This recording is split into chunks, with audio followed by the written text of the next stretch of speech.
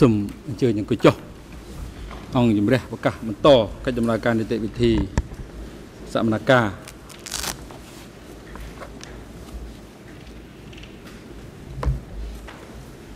ហើយជាកិច្ចបន្តនេះអង្គជំរះនឹងផ្ដល់វេទិកាទៅវេទវីការពីក្តីនិងជនជាប់ចោតឡើងធ្វើសក្តីសន្និដ្ឋាន បញ្ចប់កិច្ចពិភាក្សាដេញដោលហើយអង្គជំរះសូមជម្រាបរំលឹកដល់ជនជាប់ចោតនិងមេធាវីការពីក្តីថាពេលវេលា ដែលបំរុងទុកសម្រាប់ធ្វើកិច្ចសន្និដ្ឋាននេះ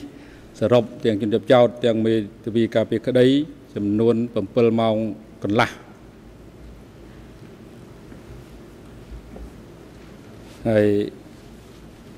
អង្គជំរះក៏ចង់ដឹងដែរថាតើជាការចាប់ផ្ដើមនេះតើមេធាវីការពារក្តីធ្វើសេចក្តីថ្លែងការណ៍សេចក្តីសន្និដ្ឋានបញ្ចប់កិច្ចពិភាក្សាដេញដោលមុនឬក៏បកគលទៅជុតចាប់ចោតដើម្បីនិយាយមុន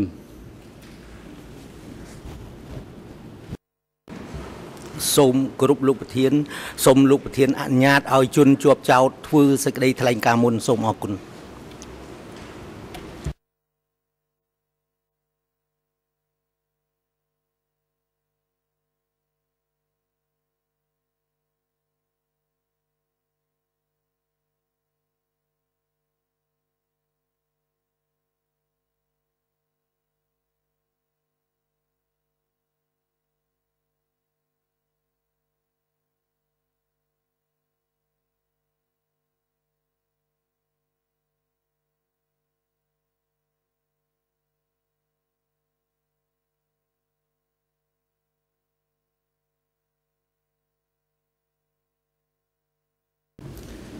សូមអញ្ជើញជនចាប់ចោតលោកអាចឈរនិយាយបានទេសូមអញ្ជើញមើល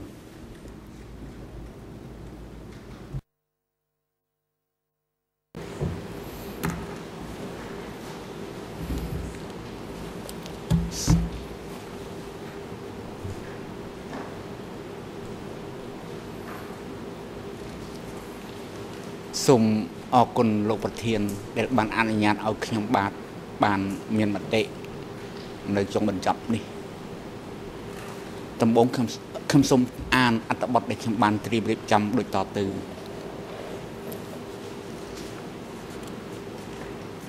អំពីការកាប់សម្លាប់ដែលបកកុម្មុយនីសកម្ពុជាបានប្រព្រឹត្តជាហោហែសំណុំពរលាតត្រដាងទស្សនវិជ្ជារួម ដើម្បីឲ្យទស្សនវិជ្ជារួមនេះវាអំណោយឲ្យការយល់ទស្សនវិជ្ជាដោយឡែកតាមគោលការណ៍រួមនឹងដោយឡែកអំណោយគ្នាទៅវិញទៅមកទស្សនវិជ្ជារួមគឺការសម្លាប់ដែលបកកុម្មុយនីសកម្ពុជាបានប្រព្រឹត្តពេញមួយប្រវត្តិរបស់ខ្លួនទស្សនវិជ្ជាដោយឡែកគឺអក្រិតកម្មពីថ្ងៃ17 4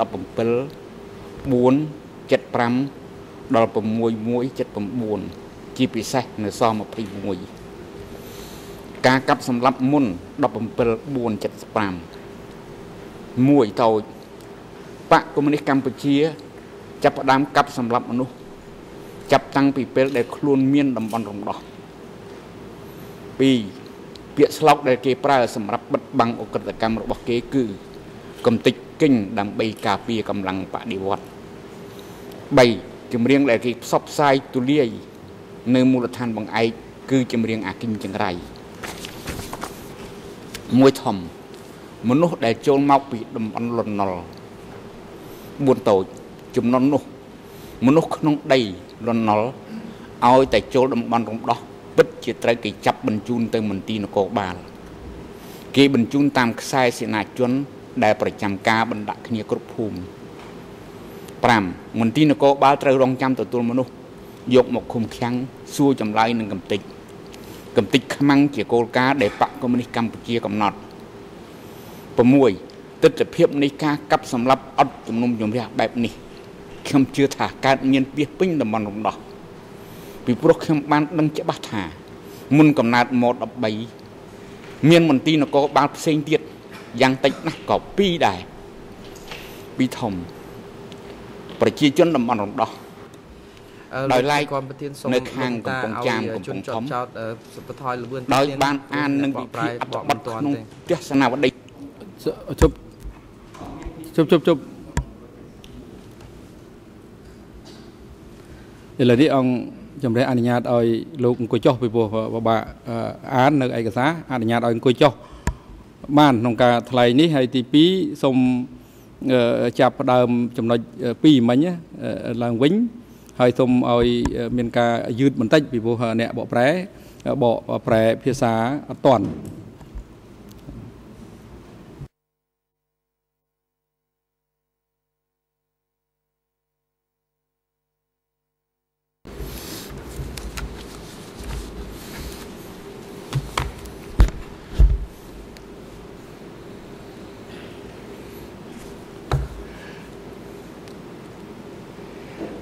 ពីរធំ ប្រជាជនតំបន់រំដោះ7តូចដោយឡែកនៅខាងកំពង់ចាមកំពង់ធំ ដោយបានអាននឹងវិភាគអត្ថបទក្នុងទស្សនាវដ្តីតុងបដិវត្តឆមាសទី2ឆ្នាំ1971ជាពិសេសអត្ថបទដែលស្ដីអំពីការដកពិសោធន៍ក្នុងការបង្ក្រាបចលនាបះបោប្រដាប់អាវុធ របស់ខុតឧត្តមវងរតនានាំឲ្យខ្ញុំជឿថា មានការកាប់សម្លាប់ប្រជាជនក្នុងរំដំបន់រំដោះតាំងពីដំបូងមកម្លេះ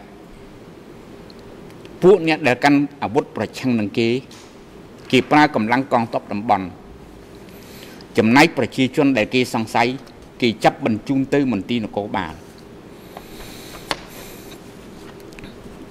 3ធំ ប្រជាជនមូលដ្ឋានបង្អែក8តូចឃុំអំលាំងស្រុកថ្ពងខេត្តកំពង់ស្ពឺជាមូលដ្ឋានបង្អែកការចាប់ចងកូនស្រុកកូនភូមិនេះអំលាំងបានចាប់ផ្ដើមជាខ្សែសង្វាក់យ៉ាងរៀលដាលគួរឲ្យរន្ធត់ក្រោយពេលដែល B52 ទម្លាក់ក្របបែកលើភូមិក្រាំងថ្កូវដែលជាទីតាំងមន្ទីរភៀក ពេលនោះមានស្លាប់មនុស្សសូមអនុញ្ញាតរាយការណ៍សភាពការជាក់ស្ដែងដូចតទៅបន្ទាប់ពីទម្លាក់ក្របបែកតែមួយថ្ងៃអង្គជឿនហៅមកបានបញ្ជាឲ្យគេចាប់កូនចៅចិន3នាក់ដែលគាត់សង្ស័យប្រកល់មកមក13កមកបានបញ្ជាឲ្យជូជាតិហៅស៊ីតាមដានការសួរចម្លើយនេះដល់ ដើម្បីអាចដោះស្រាយបញ្ហាទាន់ពេលវេលាក្នុងសភាពការដែលការសង្ស័យនិងការចាប់ចងកំពុងតែរាលដាលស្រាប់តែមានមនុស្ស2នាក់បានចូលទឹកអមយ៉ាងក្នុងកាលបរិច្ឆេទផ្សេងគ្នា ទៅសំរស់នៅនៅទីនោះនឹងមាន2នាក់ផ្សេងទៀតដែលជាកូនចៅអ្នកអមលាំងបានរត់ម្នាក់ម្ដងមកក្នុង មួយរយៈក្រោយមកទៅត្រឡប់ទៅវិញទាំង4នាក់នេះត្រូវបានខាងភូមិភាគចាប់បញ្ជូនមកមក13ក3នាក់បានឆ្លើយថាគេឲ្យចូលមកបង្កប់ដោយឡែកអ្នកទី4ដែលជាបរោះវ័យកណ្ដាលមានកូនធំពេញក្រមុំទៅហើយ បានជំរុតប្រពន្ធមិត្តភ័ក្តិម្នាក់របស់គាត់ចូលមកឧដុងបរោះនេះ បានឆ្លើយថាសាក់5ហងយីវ និងសាក់4កន្លះសេរីសយបានបញ្ចេញកំភ្លើងប្រមាណ200ដើមមកទុកក្នុងតំបន់រំដោះរួចទៅហើយ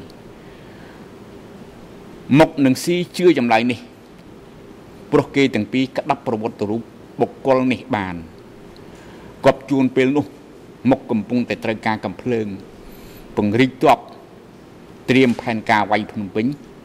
មុខបានបញ្ជាឲ្យខ្ញុំខំរកកំភ្លើងតាមចម្លើយនេះឲ្យមែនទែន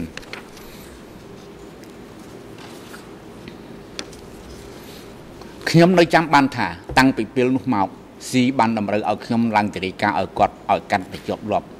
ស៊ីបានជួយលើកទិសសួរចម្លើយបុគ្គលខ្លះនិងកំណត់របៀបធ្វើទរណកម្មខ្លះផងខ្ញុំខំស្ទើរតែគ្មានពេលដេកអស់5ខែឬ6ខែ តែរកកំភ្លើងមិនឃើញ9តូចក្នុងមួយរយៈពេលនោះអាយុជីវិតអ្នកអំលាំង បានស្លាប់បាត់បង់យ៉ាងអាណ້ອຍអាធំអស់50ផ្លាយអ្នកគឺស្លាប់ដោយសារតែគេសង្ស័យនិងដោយសារចម្លើយសារភាព ក្នុងនេះ អ្នកភូមិពីមដែលជាអតីតទីប្រជុំជនសឹកថ្ពង ការចំណន់សៀនុលណុលបានស្លាប់បាត់បង់ជីវិតច្រើនជាងភូមិផ្សេងទៀតដែលនៅជុំវិញ10ស៊ីបានហៅប្រជាជនដែលស្លាប់បាត់បង់ទៅនោះថាសក្តិភូមិនេតុន ភាសានេះជាភាសាប្រមាណកម្មាភិបាលម្នាក់ដែលជាកម្មាភិបាលមធ្យមកូនចៅអ្នកស្រុកអ្នកភូមិអ្នកមូលដ្ឋានបង្អែកបានបន្ទោសប្រជាជនថាបែកចិត្តគាត់ថាកាលពីឆ្នាំ71ចិត្តយើងនៅមូលគ្នាតែមួយចាប់ពីចិត្ត2មកចិត្តយើងបែកគ្នាជា2 11តូច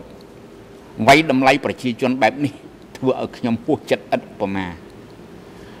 ខ្ញុំគូរូបកណ្ដៀផ្គុំគ្នាឲ្យទៅជាអក្សរខ្មែរថាបៈគំនូនេះជាគំនូចំអកចំពោះផ្ដាច់ការងងឹតងងល់របស់មុខនិងស៊ីដែលជាកសិករកម្រិតចែក12ខ្ញុំតក់ស្លុតនឹងវិនិច្ឆ័យកម្មនេះណាស់តែមិនដឹងធ្វើម៉េចមានតែផ្លូវមួយទេ គឺរៀបចំយុទ្ធវិធីសួរចម្លើយឲ្យបានស្រួលបួលខ្ញុំបាននាំមិត្តប៉ុនសួរចម្លើយកំឡោះចាស់ម្នាក់ ដែលជាអតីតនាយកព័ត៌មានកសែតសួរបណ្ដើដកពិសោធន៍បណ្ដើចំណាយពេលមួយខែផ្លាយ13ការខ្នះខ្នែងរបស់ខ្ញុំ សមត្ថភាពដែលប៉ុននឹងខ្ញុំសន្សំបាន វាបែរទៅជារុញយើងខ្ញុំទាំងពីរនាក់ឲ្យលងទៅក្នុងអក្រិតកម្មកាន់តែជ្រៅគេប្រើយើងខ្ញុំគ្មានស្គាល់យប់ ស្គាល់ថ្ងៃទេតែសំខាន់បំផុតគឺការងារដែលប្រើនេះជាការងារអក្រិត4ធំសម្រាប់សម្រាំងផ្ទៃក្នុងបកមុន17មេសា1975ក៏មានការចាប់ចងកម្មាភិបាលបកដែរ14តូចមេគាសម្រាប់សម្រាំងផ្ទៃក្នុងបកដែលខ្ញុំនៅចាំមាន2គឺ1លក្ខណៈសម្បត្តិ10យ៉ាងសម្រាប់ជ្រើសរើសកម្មាភិបាល ជាគោលចរិតខាងចាត់តាំងដែលបំរើឲ្យការជំរុះចោលនិងតម្លើងថ្នាក់បកជននិងកម្មាភិបាលតាមតែបកសម្រេចអាយុបករបស់បកជនម្នាក់ម្នាក់លែងជាលក្ខណៈវិនិច្ឆ័យដោយដែលមានចែងក្នុងលក្ខន្តិកបកឆ្នាំ1960ទៀតហើយ2មេគាមួយទៀតដែលជាគោលចរិតខាងទ្រឹស្ដីសម្រាប់បកសម្រាប់សម្រាំងគឺ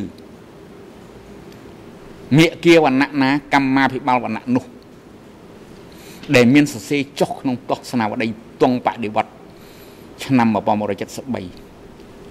ក្រោយពីបានសិក្សាផ្ទាល់លើមេគាទាំងពីរនេះខ្ញុំព្រួយណាស់តែកាលនោះនៅសង្ឃឹមថា អាចលេខាបកគេត្រឹមត្រូវសង្កេតលក្ខន្តិកបកឆ្នាំ1960លក្ខន្តិកបកឆ្នាំ1971 និងទស្សនាវដ្តីតុងបដិវត្តឆ្នាំ1973មិនត្រូវបានបង្ហាញទេ តែលក្ខណៈសម្បត្តិ10យ៉ាង មាននៅក្នុងលក្ខន្តិកបៈឆ្នាំ1976មាត្រា5ចំពុក2 15នរណាក៏ដោយឲ្យតែបកសម្រេចថាខ្មាំងត្រូវតែកំតិចប្រធានមន្ត្រីនគរបាលគ្មានសិទ្ធិតវ៉ាទេសូមរំលឹកព្រឹត្តិការណ៍ កាលពីឆ្នាំ1973រាយការណ៍ជូនឆ្នាំនោះ មានលេខាវរៈសេនាតូចម្នាក់បានចោតប្រកាន់អនុលេខារបស់ខ្លួន ថាបានបាញ់ខ្លួន ពេលកំពុងដេកឲ្យធ្លុះមុងនឹងអង្រឹងមកជឿតាមមកជឿបុគ្គលដែលរាយការណ៍នេះណាស់គាត់បានបញ្ជាឲ្យខ្ញុំលេងឲ្យធ្ងន់ដៃទន្ទឹមនេះមកបានអនុញ្ញាតឲ្យខ្ញុំទៅជួបដើមចោត ឲ្យដើមចោតនិយាយរឿងឲ្យស្ដាប់ទៅមើលមុងនឹងអង្រឹងដែលជាវត្ថុតាងខ្ញុំបានវិភាគវត្ថុតាងខ្ញុំបានសង្កេតដើមចោតសពគ្រប់សង្កេតតាំងពីទឹកមុខខ្ញុំបានរាយការណ៍សេចក្តីសន្និដ្ឋានរបស់ខ្ញុំតាមរយៈបនវេតព្រោះខ្ញុំមិនចង់ប៉ះទង្គិចអារម្មណ៍របស់មុខថាលេខាវិរៈសេនាតូចរូបនេះបាញ់ខ្លួនឯងលទ្ធផលគឺគ្មានអ្នកណាហ៊ានដោះលែងចង់ចោតទេ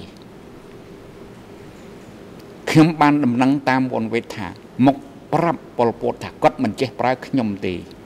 ឆ្នាំ1976សុនសេនបានណែនាំខ្ញុំថានយោបាយបញ្ជាបច្ចេកទេស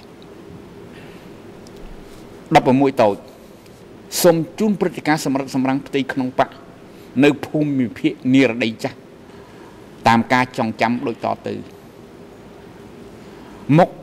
បានចាប់ផ្ដើមកំចាត់កំចាយកម្មាភិបាល ដែលជាអតីតបញ្ញាជននិងអនុធនតាំងតែពីឆ្នាំ1968មុខបានដេញកម្មាភិបាល ដែលពីដើមជាសាស្ត្រាចារ្យបឋមភូមិ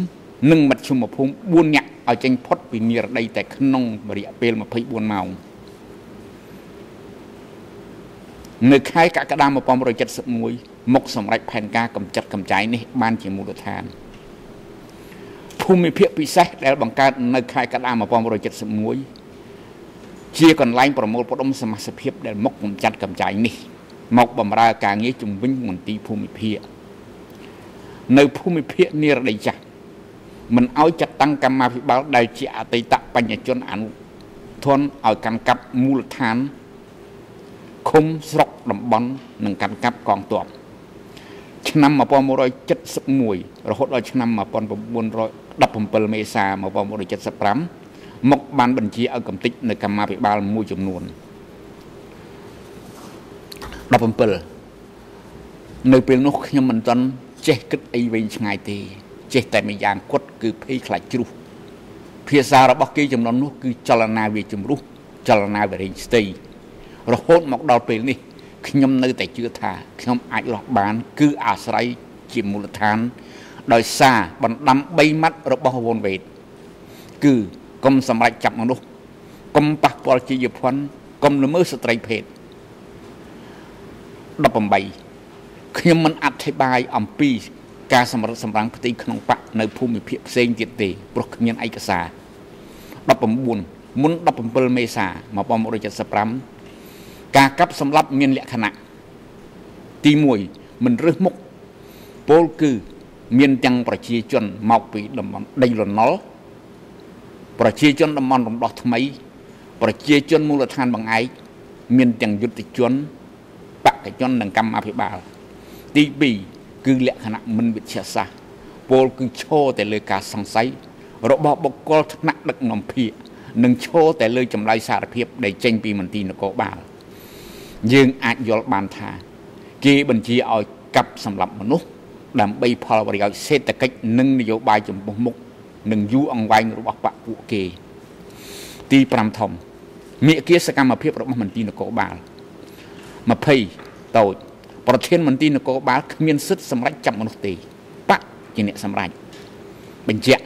ដែលខ្ញុំហៅថាបកនៅពេលនោះគឺសម្ដៅលេខានិងអនុលេខាភូមិភាគ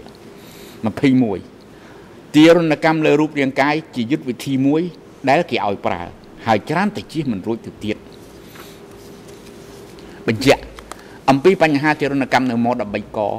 ខ្ញុំបានទទួលការណែនាំតាំងពីដំបូងពីឆាយកំហោហៅអុកបន្ទាប់មកពីវ៉នវេត22កំតិចមនុស្សដែលការនោះគេហៅថាគិញឬហៅថាជនក្បត់បដិបត្តិជាគោលការណ៍ដែលបកសម្រេច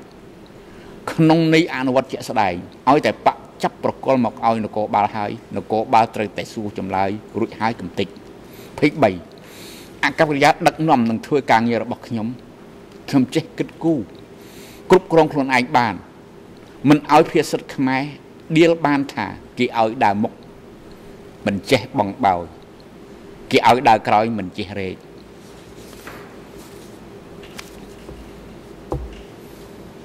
ការកាប់សម្លាប់ក្រោយ17មេសា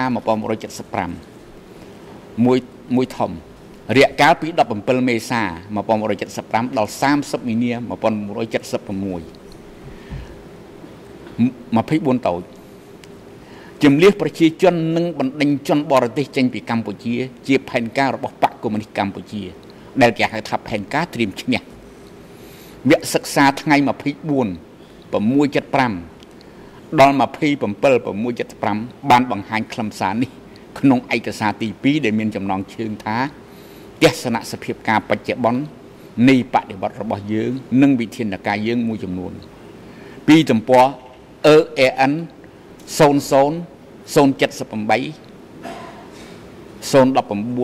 ដល់00 078 023ខ្មែរ25នៅក្នុងឱកាសជំនះនោះ គេប្រើកម្លាំងកងទ័ព កងទ័ពត្រូវបានគេបញ្ជាឲ្យប្រើអំពើហិង្សារួមផ្សំនឹងពាក្យភូតភរដើម្បីបំភ័យនិងបណ្ដេញប្រជាជនដំបងឲ្យចេញផុតពីផ្ទះពីទីក្រុងរួចហើយចេះតែដេញតទៅទៀតរហូតដល់ជនបទ26ក្នុងរយៈពេលជំនះនោះកងទ័ពត្រូវបានគេបញ្ជាឲ្យចាប់នាយទាហាននាយប៉ូលីសអ្នករដ្ឋការស៊ីវិលដែលមានបណ្ដាស័ក្តិធំ និងកម្ពុជាដឹកនាំពុទ្ធសាសនាយកទៅកំទេចជាសម្ងាត់27ប្រជាជនដែលត្រូវបានជំនះទៅដល់ជនបទត្រូវអង្គការភូមិភាគចាត់ចែងឲ្យកម្មាភិបាលមូលដ្ឋានកត់ឈ្មោះសួរប្រវត្តិរូបដើម្បីជ្រើសរើសរកសមាជិកភាពដែលត្រូវកំទេចតទៅទៀតនៅភូមិភាគនិរដីខាងជើងផ្លូវលេខ4 C អនុលេខាភាគជាអ្នកទទួលខុសត្រូវខ្ពស់បំផុត ក្នុងចលនាកັບសម្រាប់នេះ សង្កេតក្រោយមកបកប្រកលតំបន់15មក C ដើម្បីបង្កើតទៅជាភូមិភាគបះចំ28ទូទាំងប្រទេសកម្ពុជា មនុស្សដែលមានអំណាចពេញបរិបូរទទួលខុសត្រូវខ្ពស់បំផុត ចំពោះអក្រិតកម្មក្នុងរយៈកាលទី1នេះ គឺប៉ុលពតលេខាបៈនួនជាអនុលេខាសោភឹមលេខាបូព៌ាមុខនាគ លេខានិរដីចាស់និងថ្មីវនវេតលេខាភាកពិសេសសុនសេនអនុលេខាភាកពិសេសកុយធួនលេខា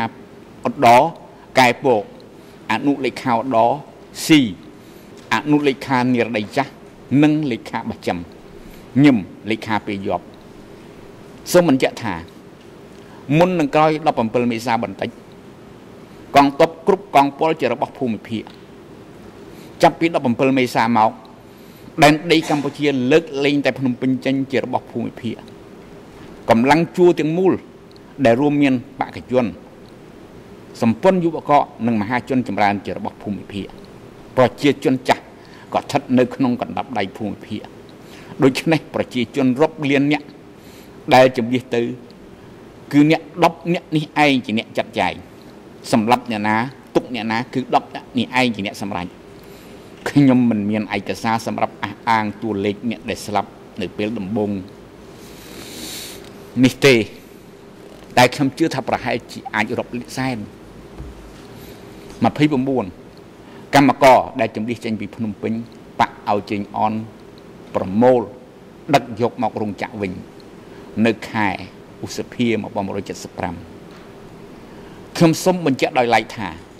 ដោយខ្ញុំប្រាថ្នាកិច្ចចេញពីការងារនគរបាលស្រាប់ខ្ញុំបានអង្វរចេញអនឲ្យជួយសុំអង្គការឲ្យបានទៅធ្វើការនៅខាងឧស្សាហកម្មជាមួយគាត់ចេញអនអបអតែសុនសេនបដិសេធថ្ងៃ30លេខ30ថ្ងៃខែមិនចាំគន់តែក្រោយ17មេសាបន្តិចភូមិភាគពិសេសត្រូវបានលុបដីតំបន់15អង្គស្នួល កណ្ដាលស្ទឹងភ្ញាលឺនិងដង្កោត្រូវបានប្រកល់ទៅឲ្យស៊ីដោយបកចាត់តាំងភូមិភាគមួយថ្មីហៅថាបាចាំដីតំបន់25ស្អាងកោះធំលើកដែកគៀនស្វាយត្រូវប្រកល់ទៅឲ្យមកដើម្បីចាត់តាំងទៅជាភូមិភាគនិរដីថ្មី បញ្ជាក់តាមព័ត៌មានដែលខ្ញុំបានមកនៅពេលក្រោយក្រោយទៀតថា គណៈតំបន់25ត្រូវរើរុះទាំងស្រុង31កុយធួននិងកម្លាំងគាត់ស្ទើរតែទាំងអស់ត្រូវបានដកចេញពីភូមិភាគអដយកមកពង្រាយតាមក្រសួងកុយធួនខ្លួនឯងនៅខាងពាណិជ្ជកម្មដែលភាគច្រើនជាពួកអដក្រសួងផ្សេងទៀតដូចជាធម្មពលដឹកជញ្ជូនជើងទឹក ជាដើមសុទ្ធតែមានពួកអដសឿវ៉ាស៊ីហៅឌឿនត្រូវបានបាក់យកទៅប្រើនៅ807 ជួឆានហៅស្រេងត្រូវបានទុកនៅមូលដ្ឋានជាអនុរិខាកាយពក32កងទ័ពទាំង4ភូមិភាគដែលវាយចូលភ្នំពេញបូព៌ាភូមិភាគពិសេសនិរដីនិងអដត្រូវបានជ្រើសរើសប្រមូលផ្ដុំជាកងទ័ពមជ្ឈិមដែលគ្រប់គ្រងផ្ទាល់ដោយសុនសេនប្រធានសេនាធិការ33 មន្ទីរនិងក្រសួងជំវិញ807បានដំណើរការតាំងពីក្រោយ17មេសាមកម្លេះតែគណៈកម្មាធិការនៃក្រសួងទាំងអស់នេះត្រូវបានកែសម្រួលបណ្ដាបណ្ដារហូតអង្គប្រជុំអចិន្ត្រៃយ៍ថ្ងៃ19 20និង31មេសាទើបបានសម្រេចចាត់តាំងជាផ្លូវការ34ទន្ទឹមគ្នានឹងការរៀបចំខាងចាត់តាំង កងទ័ពមជ្ឈិមមន្ទីរនិងក្រសួងជំនាញ807បែបនេះ សមាជិកភាពមេទាហាន មេប៉ូលីសមេគិញនិងអ្នករដ្ឋការស៊ីវិលត្រូវបានគេស្រាវជ្រាវរកចាប់ខ្លួនតទៅទៀតក្នុងនោះមានមួយចំនួនត្រូវបានបញ្ជូនដល់ស21ឈាមប្រជាជនកម្ពុជានៅទេហូទាំងនៅជនបទទាំងនៅភ្នំពេញអត់មានពេលស្វាងសោះ ពីរធំរយៈកាលពី30មិនិនា1976ដល់6មករា1979 35តូចឯកសារថ្ងៃ30មីនា1976ជាឯកសារដែលត្រូវបានសម្រេចនិងកំណត់ឡើងនៅពេលដែលបកកុម្មុយនីសកម្ពុជា បានចាត់តាំងភូមិភាគនានាសម្រាប់គ្រប់គ្រងមូលដ្ឋានជនបទទូទាំងប្រទេសបានចាត់តាំងមន្ទីរនិងក្រសួងនានា សម្រាប់ដំណើរការការងាររដ្ឋបានចាត់តាំងតំបន់ឯករាជ្យព្រោះលក្ខណៈពិសេសនៃតំបន់នោះ បានចាត់តាំងកងទ័ពមជ្ឈិមគ្រប់កងពលដោយប្រធានសេនាធិការបញ្ជាក់ឯកសារថ្ងៃ30មីនា1976ខ្ញុំទើបតែឃើញនៅអវតកនេះ36ឯកសារនេះ បានប្រកល់អំណាចសម្ដេចកំតិចទៅឲ្យមនុស្ស4ក្រុមគឺអាចិន្ត្រៃយ៍ភាក គណៈមន្ទីរមជ្ឈិមអាចិន្ត្រៃយ៍មានន័យថាអាចន្ត្រៃមជ្ឈិមសេនាធិការបើគិតជាបុគ្គលវិញមាន11នាក់គឺ1ប៉ុលពត2នួនជា3សោភឹម4មុក5សុនសេន6ខៀវសំផន7យ៉ា8រស់ញឹម9កែពក10ស៊ី11ខ្សែ 37គោលការណ៍បែងចែកអំណាច ជាគោលការណ៍មឹងម៉ាត់ក្រៅពីមនុស្ស11នាក់នេះគ្មាននរណាមានសិទ្ធិនេះទេឧទាហរណ៍កុយធួនជាសមាជិកមជ្ឈិមពេញសិទ្ធិមែនតែជារដ្ឋមន្ត្រីដូច្នេះគ្មានសិទ្ធិសម្រេចកំតិចទេណាតអតីតលេខាស21ត្រូវបាក់មានវិធានការដោយសារណាតសម្រេចអន្តរម័តឲ្យចាប់មនុស្សសំណុំពរទី2នៃកថាខណ្ឌទី1នេះ ដែលបែងដែលចែងអំពីសិទ្ធិសម្រេចកំតិចនេះ បានសរសេរថា ដើម្បីពង្រឹងប្រជាធិបតេយ្យសង្គមនិយមរបស់យើង ប្រជាធិបតេយ្យសង្គមនិយមឬប្រជាធិបតេយ្យប្រមូលផ្ដុំគឺសមូហភាពដឹកនាំបុគ្គលទទួលខុសត្រូវដោយឡែកសមូហភាពគឺបកទាំងមូល ដែលតំណាងឲ្យលេខាបកគឺប៉ុលពតចំណែកបុគ្គល បើនិយាយក្នុងក្របខ័ណ្ឌសិទ្ធិសម្រាប់កំតិចនេះ គឺលេខាភិកនីមួយនីមួយ គឺប្រធានមន្ទីរមជ្ឈិមនិងប្រធានសេនាធិការ មានន័យថា បើបុគ្គលមិនគោរពការដឹកនាំរបស់សមូហភាពទេ បុគ្គលនោះនឹងត្រូវទទួលវិន័យឧទាហរណ៍កងចាបហៅខ្សែលេខាភូមិភាគអន្តរថ្មី ពិតជាមានសិទ្ធិសម្រេចកំតិចមនុស្សទៅតាមមេគាបៈ ដល់ខ្សែទៅចាប់ប្អូន បងប្អូន របស់ប្រពន្ធខៀវសំផនខ្សែត្រូវបានប៉ុលពតមានវិធានការគឺឲ្យគេចាប់ខ្សែប្រកល់មកឲ្យស21បងប្អូនប្រពន្ធខៀវសំផនត្រូវបានប៉ុលពតបញ្ជាឲ្យដោះលែងសង្កេត C លេខាបះចំក៏មានបញ្ហារបៀបនេះដែរបើនិយាយតាមភាសាសាមញ្ញគឺគេមិនទុកឲ្យកំបិតចិត្តដងឯងទេ 39បន្ទាប់ពីថ្ងៃ30មិនិនា1976ការសម្រិតសម្រាំងមនុស្សនៅក្នុងជួរបដិវត្តដើរតួសំខាន់ណាស់គេបោសសម្អាតម្ដងមួយភូមិភាគរហូតគ្រប់ភូមិភាគគេបោះសម្អាតម្ដងមួយក្រសួងរហូតគ្រប់ក្រសួង គេបោះសម្អាតម្ដងមួយកងពលរហូតគ្រប់កងពលអាចនិយាយបានថា ការសម្រិតសម្រឹងផ្ទៃក្នុង បានចាប់ផ្ដើមឡើងពីខែមេសា1976ដោយព្រឹត្តិការណ៍សំខាន់ពីរ1ព្រឹត្តិការណ៍បោកក្របបែកក្រោយវាំងថ្ងៃ2មេសា1976 2កុយធួនត្រូវបានដាក់ឃុំក្នុងផ្ទះ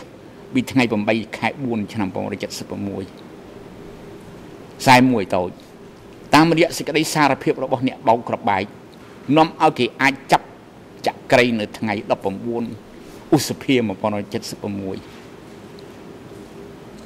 ចាប់ចក្រីនិងចាប់ស៊ូសនៅហៅឈូកជាទ្វាររបើកនាំឲ្យគេឈានចូលទៅបោសសម្អាតបូព៌ា42ចំណែកខ្សែកុយធួន គេសន្សំបែងឯកសារយូរហើយ គេរងចាំតែចម្លើយកុយធួនប៉ុណ្ណោះសូមបញ្ជាក់ជូនការសង្កេតថាសូមបញ្ជាក់ជូនសូមជូនជាការសង្កេតថា 25មករា1977ធួនត្រូវបានបញ្ជូនមកដល់ស21 29មករា77ធួនសរសេរសេចក្តីសារភាពលើកទី1ចប់31មករា1977ខ្សែរបស់ធួនទាំងនៅភ្នំពេញទាំងនៅឧត្តរឲ្យតែធួនឆ្លៃដាក់សុទ្ធតែត្រូវបានចាប់មកស21ទាំងអស់ខ្សែ3ការសម្រិតសម្រាំងខ្សែកុយធួននេះនាំឲ្យខ្ញុំតក់ស្លុតម្ដងទៀតជាលើកទី2 តក់ស្លុតលើកនេះធ្ងន់ធ្ងរណាស់ខ្ញុំចោទជាបញ្ហាក្នុងគំនិតថាហេតុដូចម្ដេចបានជាកសិករភូមិភាគឧត្តរត្រូវតែស្លាប់កសិកររបស់មកចេះតែត្រូវចេះតែរីកមុខមាត់ពួកអ្នកដែលមកជប់អស់នេះភាកច្រើនណាស់ដែលខ្ញុំធ្លាប់ស្គាល់ខ្លះធ្លាប់ជប់គុកព្រីសជាមួយខ្ញុំធ្លាប់ឡើងចុះផ្ទះឪពុកម្ដាយខ្ញុំ ខ្ញុំនឹកអាណយអាធំក្នុងចិត្តឥតប្រមាតែចេះតែគិតមិនអស់មិនហើយថា ជនបដិវត្តដែលលះបង់អ្វីអ្វីទាំងអស់ដើម្បីប្រជាជនបែរជាមកស្លាប់ក្នុងឋានៈកបฏបកនៅកន្លែងមួយដែលខ្ញុំជាកូនចៅអ្នកឧត្តរដែរមិនដឹងជានឹងធ្វើមិនជួយបានខ្ញុំនៅចាំមិនភ្លេចទេ ថ្ងៃមួយខ្ញុំលើកអំពីរឿងមិត្តម្នាក់ ជាមួយសុនសេនគាត់កំហែងខ្ញុំពីចុងមកខាងខ្សែទូរស័ព្ទថាដូចយ៉ាចម្លើយអាខួនណាខួនគឺជាឈ្មោះបដិវត្តមួយរបស់កុយធួនថ្ងៃក្រោយមកទៀតពេលសន្ទនានឹងខ្ញុំអំពីបញ្ហាមនុស្សម្នាក់គាត់បានធ្វើសតិអារម្មណ៍ខ្ញុំដោយនិយាយថាទុកក៏មិនចំណេញដកចេញក៏មិនខាត44ខ្ញុំនៅចង់ចាំថាភូមិភាគឧត្តរ ត្រូវបានប្រែឈ្មោះមកជាភូមិភាគកណ្ដាលនៅពេលនោះឯង45គេចាប់មនុស្សរបស់កុយធួន គេយកមនុស្សរបស់មុកមកដាក់ជំនួសឧទាហរណ៍គេយកកូនប្រសាទី2របស់មុកកាន់កាប់កងពល450ក្រោយដែលគេចាប់អ្នកឧត្តរបាត់ទៅគេយកអ្នកកម្ពតមកធ្វើលេខាស្រុកស្ទងជំនួសអ្នកកំពង់ចាមគេដាក់កូនស្រុករបស់មុកមកក្តាប់ឃុំកំពង់ចិន ភូមិស្រុករបស់ខ្ញុំជំនួសកូនចៅអ្នកកំពង់ចិនតាមការវិភាគពិចារណារបស់ខ្ញុំឡើងវិញខ្ញុំជឿជាក់ថាកាប់សម្រាប់ខ្សែគេឯងដើម្បីដាក់ខ្សែរបស់មុខនេះជាក្រិតក្រមនៃការសម្រិតសម្រាំងចំនួននោះខ្ញុំគិតថានឹងហើយដែលទ្រឹស្ដីរបស់ពួកមហាបដិវត្តវប្បធម៌ហៅថាកំតិចលោកចាស់កសាងលោកថ្មី46បកកុម្មុយនីសកម្ពុជា បានចាត់ទុក មនុស្សរបស់មុខថាជាកម្ពូលមនុស្សដែលចេះដោះស្រាយគ្រប់បញ្ហា សង្កេតសូមលើកយកសម្ដីប៉ុលពត ដែលនិយាយនៅក្នុងពិធីបុណ្យខួប17មេសា78មករំលឹកសរសេរជូនដូចតទៅ យើងទៅរកឯណាឲ្យវិទ្យាសាស្ត្រជាងអ្នកដែលធ្វើស្រែចេះធ្វើស្រែបានស្រូវហូបអ្នកច្បាំងដែលចេះវាយខ្មាំងឈ្នះ47សូមលើកយករឿងពិតពីររឿង យកមកលាតត្រដាង1អ្នកកម្ពុជាដែលចាត់ចាំងតាំងទៅធ្វើលេខាស្រុកស្ទងបានបង្ខំឲ្យកសិករទៅរកផ្ដៅសោមយកមកចង់កណ្ដាប់ស្រុកខ្ញុំទៅរកផ្ដៅសោមឯណា បានស្រួលនោះមិនងាយទេ2នៅពេលដែលខ្ញុំរាយការណ៍ជូនសុនសេនអំពីកម្មាភិបាលបង្អត់បាយប្រជាជនគាត់ឆ្លើយតាមទូរស័ព្ទមកភ្លាមថា នេះមកពីយើងចាប់ខ្មាំងមិនទាំងអស់ ក្រោយមកខ្ញុំបានរាយការណ៍ជូនសុនសេនទៀតតាមប្រសាសន៍ម្ដាយខ្ញុំម្ដងទៀតថាពួកនិរដីក៏បង្អត់បាយប្រជាជនដែរលើកនេះសុនសេននៅស្ងៀម48ខ្ញុំជឿថាយកកម្មាភិបាលពីកន្លែងផ្សេងមកគ្រប់គ្រងប្រជាជន ជាពិសេសគ្រប់គ្រងផ្ទាល់ជាលេខាសហករណ៍ជាការចាត់តាំងមួយខុសឆ្គងធ្ងន់ធ្ងរណាស់មេគាបៈវាអុក្រិតស្រាប់ទៅហើយដល់យកមនុស្សពីចម្ងាយមកកាន់កាប់ មកកាច់ប្រជាជនឲ្យបាក់បែបនេះនាំឲ្យវិនិច្ឆ័យហិនហោចគ្រប់វិស័យទាំងអស់ជាពិសេសហិនហោចអាយុជីវិតទាំងស្រស់ទាំងស្រស់អស់ជាង1លាននាក់ប្រជាជនភូមិណាក៏ដូចភូមិណាសុទ្ធតែរងកម្មដោយប្រជាជនភូមិខ្ញុំអញ្ចឹងនេះតាមខ្ញុំវិភាគនិងសន្និដ្ឋានបន្ទាប់ពីភូមិភាគកណ្ដាលគេបោះសម្អាតភូមិភាគបស្ចិមដំបងគេពុះពៀទៀមទាឲ្យស៊ីប្រកុលមនុស្សខ្លះ ដែលអាចជាកន្លឹះឈានទៅចាប់ស៊ីបាន ដូចជាប្រធានមន្ទីរភាគដែលជាប្អូនថ្លៃស៊ីនិងប្រធានមន្ទីរនគរបាលជាដើម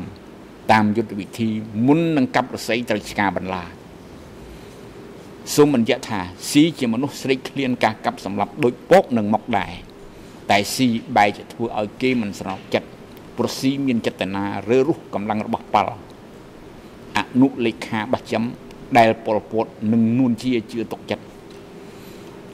50ស៊ីត្រូវបានចាប់ខ្លួនមុនថ្ងៃ17មេសា1978បន្តិចមកត្រូវបានតែងតាំងជាលេខាបះចំមួយជាន់ទៀតប៉ាល់នៅជាអនុលេខាដដែលកម្លាំងស៊ីដែលនៅសេសសល់គេរើរុះ51ក្រោយចាប់ស៊ីគេចាប់ញឹមគេចាប់ញឹមប្រហែលក្នុងខែ578 គេចាប់ញឹមគេដាក់មុខឲ្យធ្វើលេខាពេលយកមួយជាន់ទៀតដែលមុខខ្លួនឯងនិយាយថា គេឲ្យធ្វើគ្រូសង្គ្រាចច្រើនវត្តអនុលេខាភិកគេយកមនុស្សពីបច្ចឹមយកទៅដាក់សមាជិកគេយកមនុស្សពីនិរដីយកទៅដាក់កម្មាភិបាលថ្នាក់ក្រោមតាំងពីឃុំឡើងទៅសុទ្ធតែជាមនុស្សរបស់និរដីនិងបច្ចឹមតាមសម្ដីដែលពួកគេដំណើរពីការដឹកកម្មាភិបាលទៅពីយប់គឺដឹកទៅទាំងឡានទាំងឡានរហូតខងដី និយាយនេះវាហួសការពិតតែវាបង្ហាញឲ្យឃើញថាពួកគេខ្លួនគេក៏គេហួសចិត្ត52ការបោសសម្អាតនៅបូព៌ាខែ6 78គេបោសសម្អាតបូព៌ាដោយត្រង់ត្រីធំដែលមិនធ្លាប់មានយុទ្ធជនប្រមាណ300ត្រូវបញ្ជូនមកឲ្យស21កំតិចមិនបាច់សួរចម្លើយកម្មាភិបាលតំបន់ កម្មាភិបាលភូមិភាគកម្មាភិបាលយោធាសិតតែបញ្ជូនមកឲ្យកំតិចសួរចម្លើយគេលេងគិតគូរហើយ ចំណែកសោភឹមដែលមិននឹកស្មានថាប៉ុលពតសម្រេចកំតិចគាត់គាត់ឲ្យគេជូនមកសំជួបប៉ុលពតបានដំណឹងថាសោភឹមបានដំណឹងថាសោភឹមមកសំជួបពលពតបញ្ជាឲ្យកម្លាំងតាមចាប់សោភឹមរហូតសោភឹមបាញ់សម្លាប់ខ្លួនឯងសូមបញ្ជាក់ថា បើតាមខ្ញុំចាំពេលដែលមិនទាន់ចាប់សោភឹមបានពលពតបានឲ្យបាចខិតបានតាមឧទ្ធម្ភាគកិច្ចទន្ទឹមនេះកម្លាំងតបរបស់ពលពតត្រូវបានកម្លាំងដែលស្មោះត្រង់នៅសោភឹមរួមជាមួយប្រជាជនប្រដាប់អាវុធតបតវិញ53ថ្ងៃ11ខែ10ឆ្នាំ78ទើបគេចាប់កងចាប់ហៅខ្សែបញ្ជូនមកស21 54 ថ្ងៃ2វិច្ឆិកា1978ទើបចាត់ទើបវ៉ុនវេតត្រូវចាប់បញ្ជូនមកស21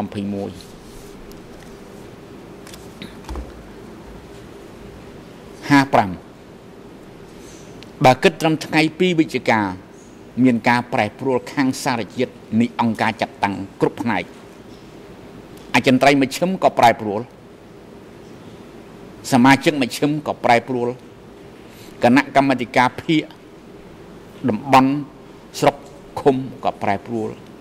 គណៈកម្មាធិការមន្ទីរក្រសួងក៏ប្រែប្រួល កងទ័ពមជ្ឈិមក៏ប្រែប្រួល56អចិន្ត្រៃយ៍ដែលចាត់តាំងដោយមហាសន្និបាតឆ្នាំ1976មាន7នាក់គឺ1ប៉ុលពតលេខា2នួនជាអនុលេខាទី1 3សោភឹមអនុលេខាទី2 4អង្គជឿនហៅមក អនុលេខាទី3អៀងសេរីសមាជិកអចិន្ត្រៃយ៍ពេញសិទ្ធវ៉ុនវេតសមាជិកអចិន្ត្រៃយ៍ត្រៀមសុនសេនសមាជិកអចិន្ត្រៃយ៍ត្រៀមមហាសន្និបាតឆ្នាំ1978ដែលជាមហាសន្និបាតវិសាមញ្ញបានសម្រេចចាត់តាំងគណៈកម្មាធិការអចិន្ត្រៃយ៍ថ្មីដោយតទៅ1ប៉ុលពតលេខា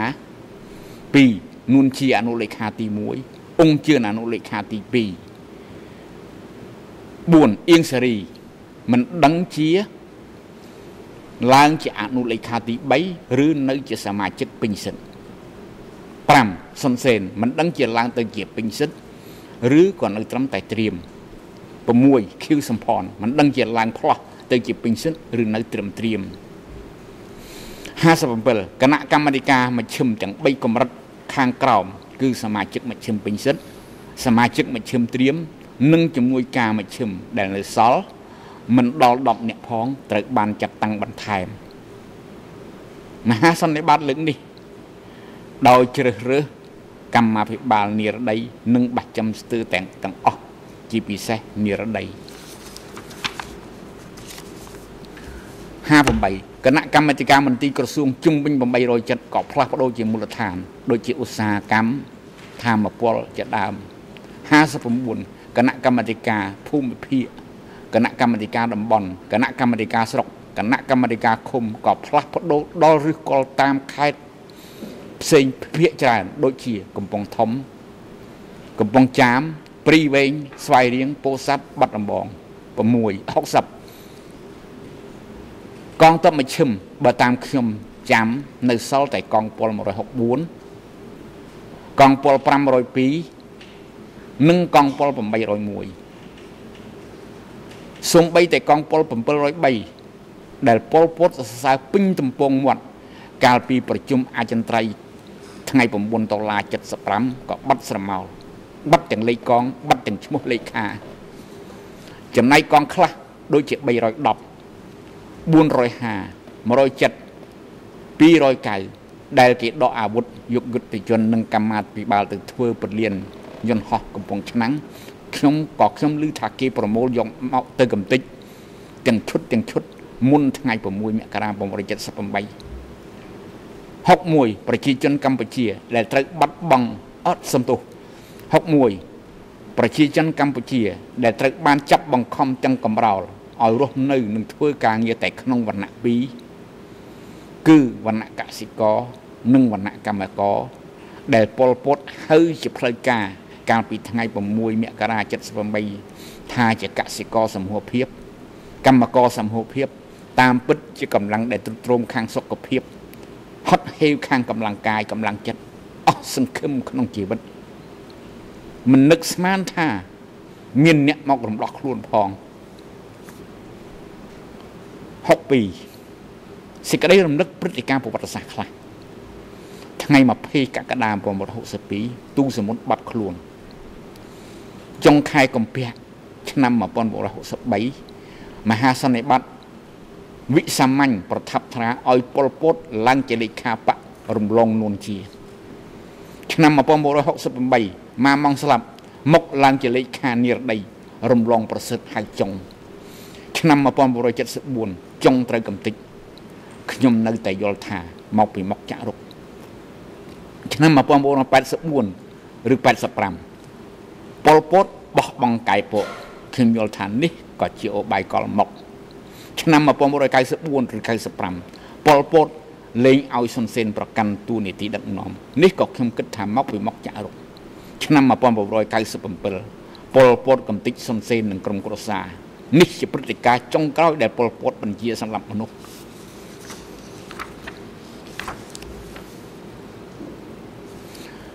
ខ្ញុំយល់ថានេះមកពីទំនាស់ ប៉ុលពតនិងសុនសេនវាទុំហើយតែម្យ៉ាងទៀតខ្ញុំនៅតែយល់ថានេះជាល្បិចដែលមុខធ្លាប់ប្រើហូហែពីមុនមកគឺយកដៃប៉ុលពតកំតិចខ្មាំងសត្រូវរបស់ខ្លួនប៉ុលពតផ្លាប់ចំណាប់មកធ្វើមីទីងប្រកាសកាត់ទោសប៉ុលពតមកបញ្ជាឲ្យគេសម្លាប់សរឿនសាននិងខូនមកប្រកាសធ្វើសង្គ្រាមតទៅទៀតក្នុងវត្ថុបំណង ប្រោះរបបអុកក្រិតកម្មប្រឆាំងមនុស្សជាតិនេះរស់ឡើងវិញ63បើនិយាយប៉ុលពតវិញ តាំងពីបាត់បង់ទូសមុទ្រទៅគាត់ជាអ្នកធំបងអស់គាត់លើកទ្រឹស្ដី លើកមាគាកំចាត់កំចាយមនុស្សកម្មសម្រាប់មនុស្សយ៉ាងសាហាវបំផុតលក្ខណៈសម្បត្តិ10យ៉ាងជ្រើសរើសកម្មាភិបាលរូបភាពហាក់ដូចជាទន់ភ្លន់មានហេតុផល តែជាក់ស្ដែងសាហាវណាស់ឯងល្អឯងអាក្រក់អញជារង្វាស់តែមួយគាត់តែម្យ៉ាងទៀតខ្ញុំនៅតែយល់ថាប៉ុលពតបានប្រើល្បិចសម្ងាត់ដែលស្តាលីនបានប្រើសម្រាប់ត្រុតស្គី ដើម្បីសម្រាប់ហាំងងោនិងសម្រាប់ប្រពន្ធខ្ញុំនិងខ្ញុំ តែវាសោយស្លាប់តែខ្ញុំស្លាប់តែប្រពន្ធខ្ញុំ គេសម្រាប់ ហាំងងោព្រោះរឿងខ្សែភាពយន្តវិលពិឃាតគេប្រាថ្នាជីវិតខ្ញុំនិងប្រពន្ធខ្ញុំជាពិសេសដើម្បីបំបិតមាត់រឿងស21ទោះបី3នាក់នេះគ្មានលទ្ធភាពសម្រាប់គេក៏ដោយ64តម្រៃប្រវត្តិសាស្ត្រដែលខ្ញុំរំលឹកយកមករាយការណ៍នេះ ជាគោលអាង នៅសេចក្តីសន្និដ្ឋានរបស់ខ្ញុំដែលថាបកកុម្មុយនីសកម្ពុជា យកការកាប់សម្លាប់ជាមធ្យោបាយសម្រាប់ដោះស្រាយគ្រប់បញ្ហា ដើម្បីសម្រេចមហិច្ឆតារបស់ពួកគេ គឺកសាងសន្តតិវង្សនៅកម្ពុជាគំនូចំអកដែលមានចំណងជើងថាថ្ងៃអង្គសាររបស់បកកុម្មុយនីសកម្ពុជា ដែលខ្ញុំបានដាក់ជូនអង្គជំនុំជម្រះនេះរួចហើយ ជាការបកស្រាយលោកទេសនៈរបស់ខ្ញុំចំពោះប្រវត្តិបកកុម្មុយនីសកម្ពុជាដោយដែលរាយការណ៍ខាងលើ65 ប៉ុលពតប្រាថ្នាសោយរាជដោយទុកឲ្យមុខនឹងកម្លាំងគាត់រឹបរងខាងយោធានិងកសិកម្មប៉ុលពតរំពឹងសោយរាជក្រមស្លាកបដិវត្តវណ្ណៈអធនដ៏បរិសុទ្ធ66ចំណែកមុខវិញ មួយជីវិតគាត់គាត់មិនសុខចិត្តនៅក្រោមនរណាទេមុខតាំងខ្លួនជាកម្ពូលកសិករជាបិតាសច្ចធម៌សម្ដីគាត់គឺ នៅពីលើមុខមានមួក នៅពីលើមួកមានមេឃតាមខ្ញុំសង្កេតសម្ដីនេះមិនធម្មតាទេគាត់ប្រើព្យាងរំដំព្យញ្ញៈម៉ម៉3ធំសរុបពី17មេសា1975ដល់6មករា1979 67 ពេញមួយរយៈកាលពី17មេសា1975រហូតដល់6មករា1979ជារយៈកាលដែលបកគមនេះកម្ពុជា មានអំណាចទាំងស្រុងលើទឹកដីកម្ពុជាទាំងមូលមួយបកគមនេះកម្ពុជា បានប្រឹងប្រែងអស់លទ្ធភាព ដើម្បីប្រែក្លាយប្រជាជន គ្រប់ស្រទាប់វណ្ណៈឲ្យទៅជាកសិករសមូហភាពកម្មករសមូហភាព អ្នកដែលមិនព្រមខ្លាយខ្លួនទៅជាកម្មករកសិករ ឬក៏អ្នកដែលប្រឹងទៅមិនរួចសិតតែទទួលរងគ្រោះថ្នាក់កាប់សម្លាប់ទី2នៅក្នុងជួរបកបានសម្រិតសម្រាំងដោយកំចាត់កំចាយកម្លាំងគេឯងគ្រប់គ្នានិងកាប់សម្លាប់កម្លាំងគេឯងគ្រប់គ្នា ហើយដាក់កម្លាំងរបស់ខ្លួនជំនួសវិញ តាំងពីសហគរសហជីពរហូតដល់អចិន្ត្រៃយ៍មជ្ឈិម68អ្នកដែលមានសិទ្ធិអំណាចពេញបរិបូរណ៍ យោងតាមខ្លឹមសារនៃឯកសារថ្ងៃ30មីនា1976បើគិតសរុបតាំងពីថ្ងៃ17មេសា75រហូតដល់ថ្ងៃ6មករាមាន13នាក់គឺ1ប៉ុលពត2នួនជា3សោភឹម4អង្គជឿនហៅមុក5វ៉ុនវេត6សុនសេន7ខៀវសំផន 8កុយធួន9ម៉ែនយ៉ាម៉ែនសានហៅយ៉ា10រស់ញឹម11កែពក12ជូជាតិហៅស៊ី13កងចាបអំពីសន្និបាតរបស់បកកុម្មុយនីសកម្ពុជា69មន្ទីរសន្និបាតក្នុងរបបកម្ពុជា ប្រជាធិបតេយ្យមានយ៉ាងតិចណាស់សំទោសសំអានម្ដងទៀត69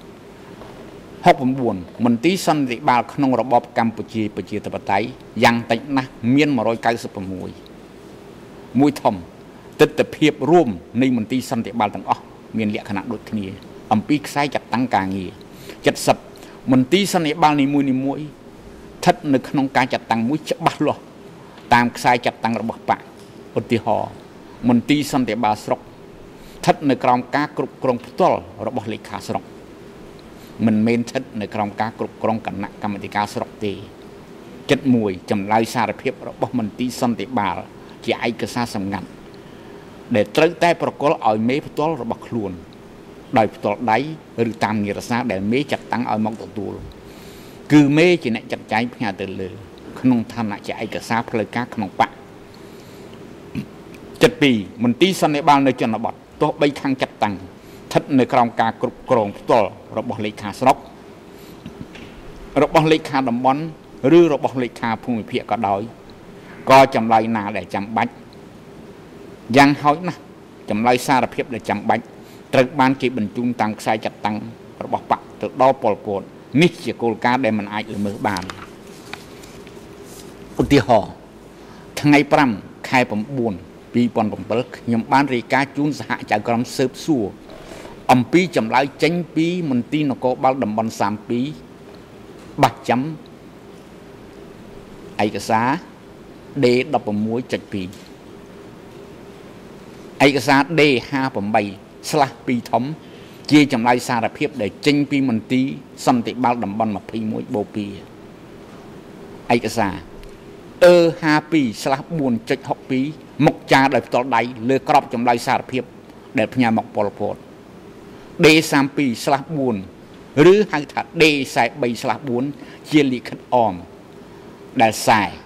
កងចាប់លេខខោដ801លេខខោដថ្មី801ផ្ញើចម្លើយសារភាពរបស់សាន់អៀបហៅខុននិងសើយហៅផង់មកពលពតសូមបញ្ជាក់ឯកសារទាំង4នេះពិតជាដល់ដៃពលពតដើម្បីពលពតចាត់ចែង73ចំណែក ស21ដែលស្ថិតនៅក្រោមការគង់របស់សុនសេនក៏អញ្ចឹងចម្លើយសារភាពណាដែលសុនសេនចាប់អារម្មណ៍សុនសេនចាពីលើក្របជូនប៉ុលពតពិនិត្យនិងសម្រេចជាបន្ទាន់ឧទាហរណ៍អឺ3/20ចម្លើយសិញចម្លើយហេងពេជ្រហៅឆន D93/3 ធំចម្លើយមុងឡុងមួយហៅជួនសង្កេតដោយឡែកអឺ3/86 សុនសេនចាសុំសេចក្តីសម្រេចរបស់នួនជា ពេលនោះនួនជាជារដ្ឋមន្ត្រី ទី1ស្ដីទីនាយឲ្យចំ គឺលេខាបកស្ដីទីបកឲ្យតម្លៃទៅលើចម្លើយសារភាព74តូចស21ពិតជាស្ថិតនៅក្រោមការគ្រប់គ្រងរបស់សុនសេនដែលជាសមាជិកអចិន្ត្រៃយ៍មជ្ឈិមបកមែន តាមពិតសុនសេនជាបុគ្គលទី7ឯសោភឹមជាបុគ្គលទី3មុខជាបុគ្គលទី4បើអះអាងថាស21ធំជាងមន្ទីរផ្សេងសន្តិបាលផ្សេងទៀតព្រោះហេតុផលសំសេននោះក៏គួរតែអះអាងថាមន្ទីរសន្តិបាលបូព៌ាធំជាងគេព្រោះហេតុផលសោភឹមបន្ទាប់មកគឺមន្ទីរសន្តិបាលនិរដីព្រោះហេតុផលមកតាមពិតវាមិនមានលំដាប់ឬឋានៈអីអញ្ចឹងទេ មន្ទីរសន្តិបាលទាំងអស់ស្មើភាពគ្នាចំពោះមុខបកដោយចម្លើយសារភាពឧទាហរណ៍ D32 ស្លាស់2.4ឬហៅថា D 43ស្លាស់4បាក់ចាប់អារម្មណ៍មែនទែនជាក់ស្ដែងខ្សែចាលិខិតអមផ្ញើមកនៅថ្ងៃ17មេសា1978នួនជាអានចប់នៅថ្ងៃ19មេសា1978 អឺ3ស្លាស់416ជាឯកសារស21ពលពតចាប់អារម្មណ៍មែនទែនចម្លើយសារភាពដែលចេញពីមន្ទីរសន្និបាតតំបន់32បាចំក៏ពលពតចាប់អារម្មណ៍មែនទែនដែរទើបណែនាំឲ្យសុនសេនយកទៅណែនាំស21ពេលនោះណាតនឹងខ្ញុំនៅក្នុងកំណត់ហេតុសួរចម្លើយ D16/2 សិទ្ធសម្រាប់កំតិចនឹងការងារស្នូលរបស់មន្ទីរសន្និបាត76មន្ទីរសន្និបាតគ្មានសិទ្ធិសម្រេចកំតិចទេនាយឲ្យចំគឺប្រធានមន្ទីរសន្និបាតណាក៏ដោយក៏គ្មានអំណាចចេញបញ្ជាអត្តនោម័តឲ្យចាប់មនុស្សដែរឯឯកសារថ្ងៃ30មិនិនា1976ជាគោលចរិតធំបំផុតអ្នកដែលល្មើសពិតជាបកមានវិធានការណាត លេខាស21ជាឧទាហរណ៍ជាក់ស្ដែងស្រាប់អង្គប្រជុំថ្ងៃ19ថ្ងៃ20និងថ្ងៃ21 1976ហាមមិនឲ្យប្រើណាតឲ្យក្តាប់កម្លាំងបញ្ជាក់បើប្រើពាក្យចាំក្នុងនីប្រតិបត្តិការបច្ចេកទេសតាមបញ្ជាច្បាស់លាស់នោះមាន77មន្ទីរសន្និបាតត្រូវរងចាំទទួលមនុស្សដែលខាងលើបានបញ្ជាច្បាស់លាស់ឲ្យរងចាំ មនុស្សដែលខាងលើប្រកល់ឲ្យត្រូវតែកំតិចនៅពេលចុងបញ្ចប់យកមនុស្សសំខាន់ដែលកំពុងសួរយកទៅកំតិចជាបត់ល្មើសក្នុងការអនុវត្តជាក់ស្ដែងប្រធានមន្ទីរសន្និបាតដឹងច្បាស់ជាងគេ នៅឈ្មោះមនុស្សដែលអង្គការត្រូវការចម្លើយជាចាំបាច់ដូច្នេះត្រូវធានា ចំពោះមុខបកកុំឲ្យដាច់ចម្លើយពេលយកមនុស្សត្រូវកំតិចម្ដងម្ដងត្រូវមានការចាត់តាំងច្បាស់លាស់ជាកម្រិតពួក ជាកម្រិតក្រុមជាកម្រិតអនុសេនាតូចដោយប្រធានពួកទទួលប្រធានក្រសំទោសដោយប្រធានពួកប្រធានក្រុមប្រធានអនុសេនាតូចទទួលខុសត្រូវលើការងាររបស់ខ្លួនមកចាត់នេះជាវិន័យយោធាឧទាហរណ៍នៅស21ប្រធានអនុសេនាតូចកងពិសេសពេលយកមនុស្សចេញទៅកំទេចម្ដងម្ដងត្រូវប្រកាន់ទូនេតិរបស់ខ្លួនជាបញ្ជាការប្រតិបត្តិការ អំពីទារុណកម្មលើរូបរាងកាយ79ទារុណកម្មលើរូបរាងកាយជាយុទ្ធវិធីដែលអនុញ្ញាតឲ្យធ្វើ ក្នុងការជាក់ស្ដែងច្រើនតែជិះមិនរួចទន្ទឹមនេះ ជាគោលការណ៍ដែលបកទាំងមូលដឹងឮឧទាហរណ៍ D43/4 ឯកសារថ្ងៃ26តុលា77ត្រង់ទំព័រ EAN 00 173 920អ្នកសួរបញ្ជាក់ថាគេបានធ្វើទរណកម្មចម្លើយសារភាពនេះបញ្ជូនទៅភូមិភាគកណ្ដាលសំណុំរឿងលេខ002 D43/4 ដុតឯកសារថ្ងៃ28តុលា1977ត្រង់ទំព័រ EAN 00 174 762អ្នកសួរបញ្ជាក់ថា គេបានធ្វើទារុណកម្មចម្លើយសារភាពនេះត្រូវបញ្ជូនទៅភូមិភាគពាយ័ព្យសំណុំរឿងលេខ002ដូច្នេះទារុណកម្មលើរូបរាងកាយពិតជាត្រូវបានអនុវត្តគ្រប់មន្ទីរសន្និបាតបើមិនដូច្នោះទេតាក់មិនឲ្យស21ជូនព័ត៌មានរបៀបនេះទេម្យ៉ាងទៀតអ្នកសួរចម្លើយមានកម្រិតប្រហែលគ្នា3ចំនួនហើយចំនួនសៀនុ លន់ណុលការងារសួរចម្លើយវាជាការងាររបស់អធិការនគរបាលឬស័កមួយប៉ូលីសក្នុងសម័យខ្មែរក្រហមវាជាការងាររបស់អ្នកសួរការខ្ញុំជាប់គុកខ្ញុំមិនដែលឃើញសាក់2សាក់3ណាម្នាក់ទៅអើតខ្ញុំទេមកអើតខ្ញុំទេ ប្រធានមន្ទីរសន្តិបាលខ្មែរក្រហមទាំងគេទាំងខ្ញុំខ្ញុំជឿថាគ្មាននរណាម្នាក់មិនប្រកាន់តួនាទីដឹកនាំទេ 3ធំទស្សនភាពដែលស21ប្លែកពីមន្ទីរសន្តិបាលផ្សេងទៀត8អ80 80តូចមន្ទីរស21ប្លែកគេដោយសារសមាជិកមជ្ឈិមទាំងអស់ត្រូវបានឃុំខ្លួន សួរចម្លើយនឹងកំតិចនៅទីនោះបញ្ហានេះពិតមូលហេតុសំខាន់គឺប៉ុលពតចាត់ទុកពួកនេះជាបន្លាក្នុងភ្នែក ដែលក៏ត្រូវតាមដាន ដើម្បីមានវិធានការទាន់ពេលវេលាឧទាហរណ៍កុយធួន25មករា77កុយធួនត្រូវបានបញ្ជូនមកដល់ស21 29មករា1977ធួនសរសេរសារភាពចប់31មករា77សម្រិតសម្រាំងខ្សែធួនតាមចម្លើយធួនផ្ទុយទៅវិញមន្ទីរសន្តិបាលទាំង195ផ្សេងទៀត ទូទាំងប្រទេសមិនមានមន្ទីរសន្តិបាលណាមួយ បានកំទេចសមាជិកមជ្ឈិមបកទេនេះជាបញ្ហាពិត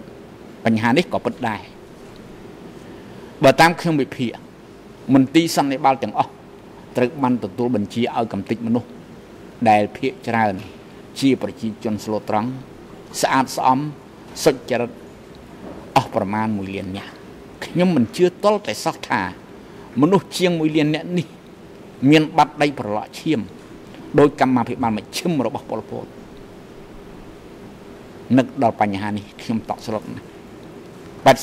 81មនុស្សនៅតាមភូមិភាគភាគច្រើនត្រូវបានបញ្ជូនមកស21ក្នុងនោះមានទាំងប្រធានមន្ត្រីសន្តិបាលផងនេះជាការពិតមូលហេតុមកពីប៉ុលពត មានបំណងចង់យល់ព័ត៌មាននៅតាមភូមិភាគនិយាយឲ្យចំគឺតាមដានលេខាភាគ នានាដែលពតមិនទុកចិត្តមនុស្សដែលបញ្ជូនចេញពីភូមិភាគមានខ្លះមកដោយសារប៉ុលពតទៀមទាតាមចម្លើយចេញពីស21តែក៏អាចមានខ្លះទៀតដែលប៉ុលពតទៀមទាតាមចម្លើយដែលភូមិភាគជូនមកទន្ទឹមនេះ តាមគោលការណ៍ប្រជាធិបតេយ្យប្រមូលផ្ដុំគ្មានលេខាភាគណា មានអំណាចទៀមទាឲ្យលេខាបក ឬលេខាភាគផ្សេងទៀតបញ្ជូនមនុស្សទៅខ្លួនទៅឲ្យខ្លួនបានទេ ការផ្លាយគ្នា រវាងស21និងមន្ទីរសន្និបាតផ្សេងទៀតវាចេញមកពីអំណាចទាំងអស់ត្រូវបានប្រមូលផ្ដុំនៅក្នុងកណ្ដាប់ដៃលេខាបកគឺពិតជាមិនមែនអំណាចរបស់ប្រធានស21ទៅលើប្រធានមន្ត្រីសន្និបាតចឹង195នោះទេលើសពីនេះទៅទៀតខ្ញុំសង្កេតឃើញថា នៅជនបទ មានរូបភាពភាពមួយប្លែកពីស21គឺមន្ត្រីសន្និបាតតម្រូវឲ្យទទួលយកមនុស្សមកទុកមួយរយៈដើម្បីឲ្យមនុស្សអស់នេះឃើញសពគ្រប់ទៅខាងលើឲ្យចេញទៅវិញខ្ញុំសរសេរនេះ គឺសរុបតាមរបាយការណ៍ដែលភ្នាក់ងាររបស់សហចៅក្រមស៊ើបសួរចុះទៅជនបទចងក្រងនឹងប្រមូលបាន ខ្ញុំសន្និដ្ឋានថានេះជារូបភាពព្រមាន ដូចគ្នានឹងការដែលបាក់ឲ្យសាក់សីការ W30 ទាំងនៅក្នុងម៉ូ13មួយរយៈរួចទៅបាក់បញ្ជូនទៅពោធិ៍សាត់ទៅរស់នៅទីនោះក្នុងឋានៈជាពាក្យកណ្ដាលនិទោសខ្ញុំចាប់អារម្មណ៍ថា ប្រហែលជានៅជនបទប្រើរូបភាពនេះ ជំនួសរូបភាពព្រីសរបស់ស21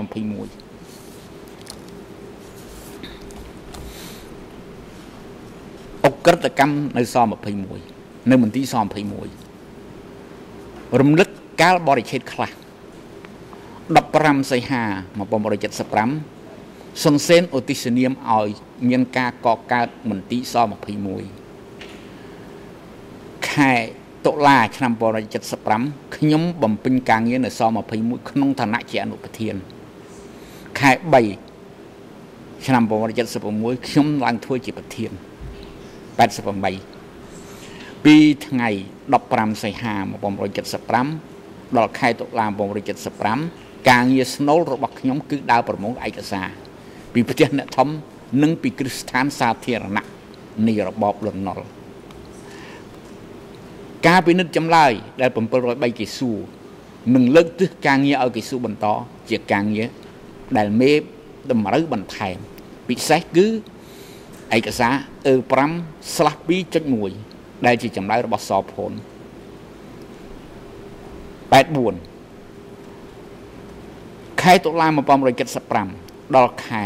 មិនិនា1976រយៈកាលដែលណាតធ្វើប្រធានខ្ញុំចូលកាន់ការជាអនុប្រធាន មាន2ចំណុចដែលសូមបញ្ជាក់គឺ1ទៀមទាទៅខាងតំបន់25សូមចាប់អ្នកនេះ តាមដានអ្នកនោះជារបៀបធ្វើការរបស់ណាតមិនមែនជារបៀបធ្វើការងាររបស់ខ្ញុំទេ នៅម៉ូដ13គ្មានបកឯណាអនុញ្ញាតឲ្យខ្ញុំតាក់ទងមូលដ្ឋានរបៀបនេះទេ2តាមឯកសារដែលត្រូវបានបង្ហាញ តាំងពីរយៈកាលស៊ើបសួរខ្លះតែសំខាន់ក្នុងសវនាការដេញដោលនេះខ្ញុំបានវិភាគឃើញថាណាត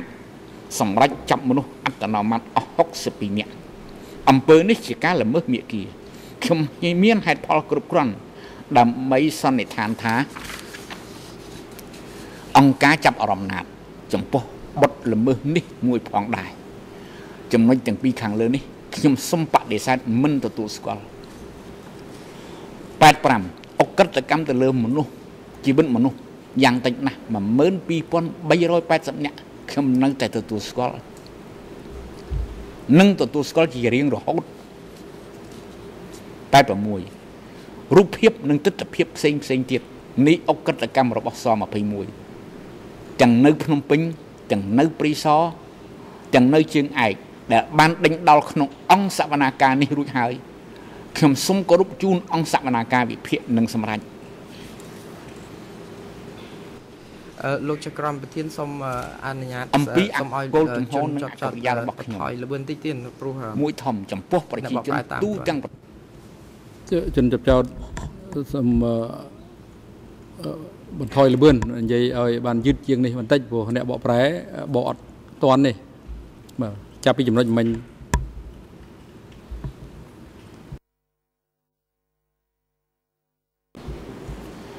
អំពីគោលជំហរនិងអកិរិយារបស់ខ្ញុំ មួយធំ ចំពោះប្រជាជនកម្ពុជាទូទាំងប្រទេសមុនថ្ងៃជំនះរបស់ខ្លួន បកកុម្មុយនីសកម្ពុជា បានប្រកាសជាអុលារិក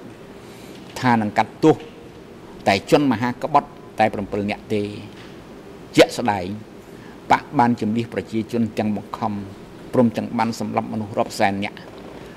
គឺមនុស្សដែលមិនបានប្រព្រឹត្តបទល្មើសអ្វីក្រោយ17មេសាសោះការកាប់សម្លាប់បានបន្តម្ដងហើយម្ដងទៀតអត់ស្រាកស្រានរហូតអស់ជាង1លាននាក់ ក្នុងចំណោមប្រជាជនក្រៅក្រៅជួរគេកាប់សម្លាប់អ្នកណា ដែលពំព្រមដាក់ខ្លួនឲ្យទៅជាកសិករកម្មករឬក៏ធ្វើទៅពំរួចរីឯអ្នកនៅក្នុងជួរវិញ គេចាប់ចងកាប់សម្លាប់បកជនខ្សែខ្សែខ្សែផ្សេង ដែលមិនមែនជាខ្សែរបស់គេ ដើម្បីដាក់កម្លាំងគេជំនួសវិញមហាវិនិស្សកម្មទាំងក្នុងជួរនិងក្រៅជួរពិតជាអក្រិតកម្មរបស់បកកុម្មុយនីសកម្ពុជាតែម្នាក់ឯងគាត់ ខ្ញុំនៅតែស្មោះត្រង់នឹងសេចក្តីប្រកាសរបស់ខ្ញុំ ក្នុងអង្គសវនាការនេះ ដែលខ្ញុំបានអះអាងថាប៉ុលពត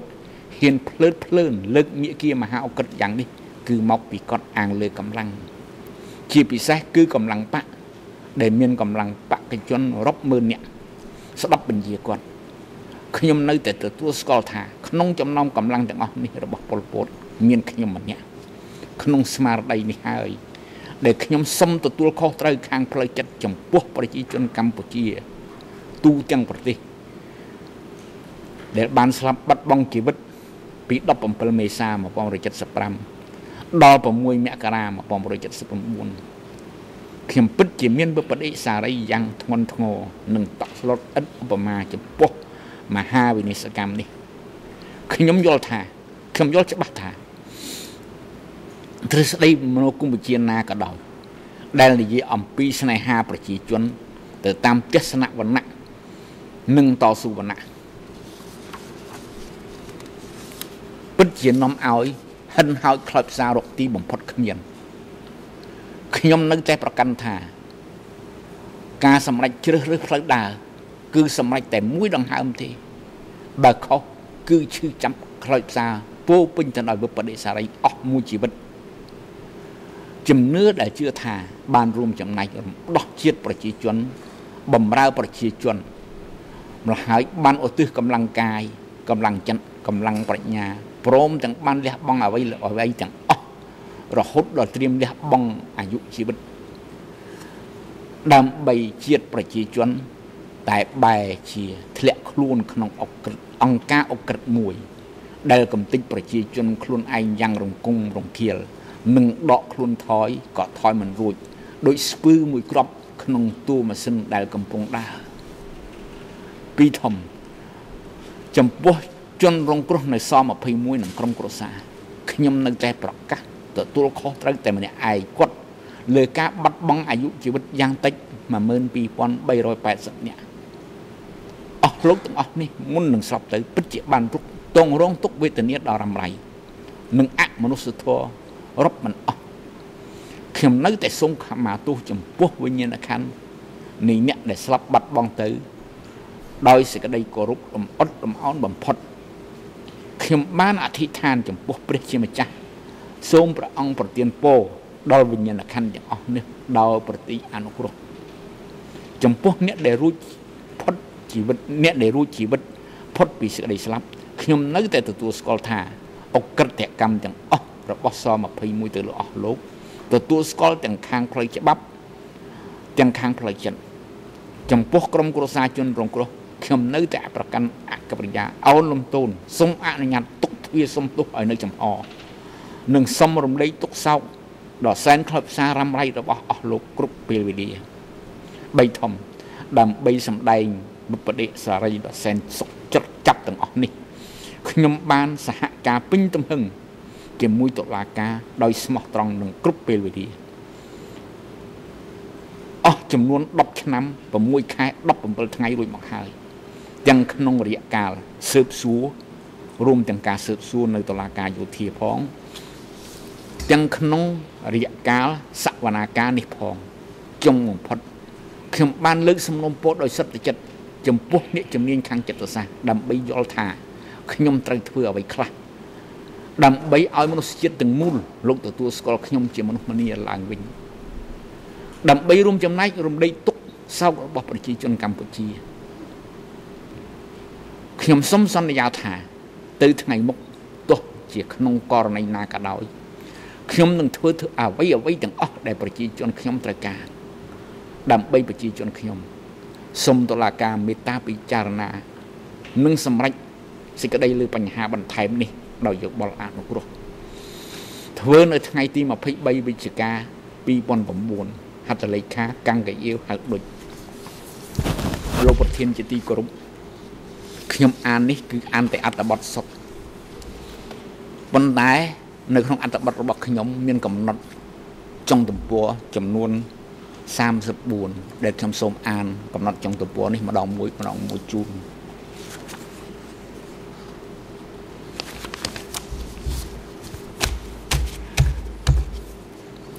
កំណត់ចុងទំព័រលេខ1កម្លាំងបដិវត្តគឺកងទ័ពកងឆ្លប់នៅខ្សែត្រៀមប្រជាជននិងសេនាជនតំបន់រំដោះ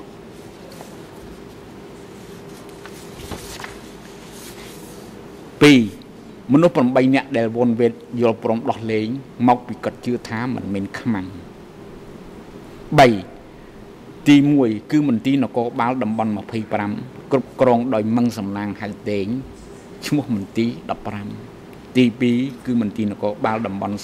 32ភូមិភាគនិរដីចាស់គ្រប់គ្រងដោយតាំងខេត្តហៅខណ្ឌទី3គឺមន្ទីរនគរបាលភូមិភាគនិរដីគ្រប់គ្រងដោយកម្មាភិបាលខ្មែរមកពីហាណូយ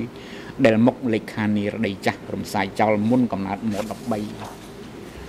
4ប្រជាជនមូលដ្ឋានបង្អែកគឺប្រជាជនដែលឧបត្ថម្ភបដិវត្តតាំងពីមុនរដ្ឋប្រហារ18មីនា 5ចំនួនអ្នកស្លាប់មិនច្បាស់ព្រោះគេលាក់6ក្នុងនេះមានពីអ្នកឆ្លើយដាក់សផូនអភិបាលរងខណ្ឌដុនពេញនៃរបបលន់ណុលបានចាំតាំងគេឲ្យចូលមកបង្កប់សូមអានឯកសារអឺ5ស្លាស់2.1 និងអឺ5ស្លាស់2.29 បន្ថែម7មុនរដ្ឋប្រហារ18មីនា ស័កបីសេរីសយជាមេបញ្ជាការនិងជាចៅហ្វាយស្រុកថ្ពងខេត្តកំពង់ស្ពឺមុនរដ្ឋប្រហារបរោះនេះរស់ដោយសារលបែងស៊ីសងម្យ៉ាងទៀតប្រពន្ធគាត់ជាប្រពន្ធរបស់បរោះនេះ ជាប្អូនស្រីបង្កើតរបស់មេឃុំឃុំអមលៀងម្នាក់ដែលមានអំណាចពិតប្រាកដគេទាំងពីរអ្នកជឿថាបរោះនេះឡើងចុះផ្ទះសេរីសយញឹកញាប់ហើយជាអ្នកយកការរបស់សេរីសយតាំងពីពេលនោះមក 9ខ្លឹមសារនៃសេចក្តីសារភាពនេះ បានធ្វើឲ្យខាងលើពេញចិត្តប៉ុននឹងខ្ញុំជឿថាខ្លឹមសារផែនការដែលសារភាព អាចពិត50%ដូចជាយុទ្ធវិធី សម្រាប់កុម្មុយនីសដោយចាក់ថ្នាំតាមសរសៃឈាមជាដើមឈ្មោះអ្នកបងរៀនបរននេះខ្ញុំជឿថាពិតត្រឹមតែ30%ប៉ុណ្ណោះព្រោះគាត់ជាតំណាងរាស្ត្រពីសម័យសង្គមតាំងពីសម័យសង្គមរាស្ត្រនិយម10 អត្ថបទដែលសរសេរភ្ជាប់ឧបសម្ព័ន្ធ D 21សូមអានវគ្គទី5និងទី6 11បុគ្គលនេះខ្ញុំមិនសូវអស់ខ្ញុំមិនសួរចម្លើយទេ តែស្លាប់មុន17មេសាដោយខ្វះម្ហូបអាហារនិងជំងឺ12ឧឧបបៈសម្ព័ន្ធរបស់ D21 សូមអានវគ្គទី6ចំណុចទី4 EAN 00146 679 13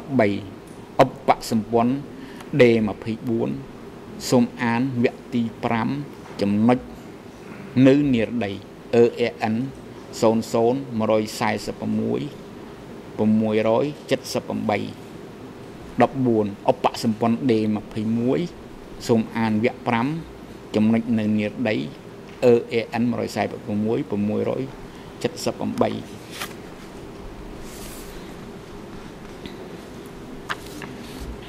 15 D11 ស្លាស់9 EAN 00 146 481ជាខ្មែរ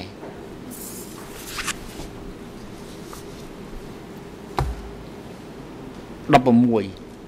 ក្នុងសៀវភៅកំណត់ដៃរបស់មុំណៃ EAN 00 077 960 661ដល់00770សំទោស00 078 056ខ្ញុំសូមអានលេខ EAN ម្ដងទៀត EAN 00 076សំទោសម្ដងទៀត EAN 00 077 661ដល់00 078 656 17សមិលហៅម៉ាន អនុសេនាធំមួយរូបរបស់ស21រាយការណ៍នៅពេលឆ្លងជីវទស្សនៈបដិវត្តឆ្នាំសិក្សា175 18យកតាមសម្ដីខឹមពីន លេខាកងពល703បន្តពីណាតយកតាមសម្ដីមិត្តហោអនុលេខាស21និងយកតាមសម្ដីយូពេងគ្រីហៅមុនបុគ្គលិកស21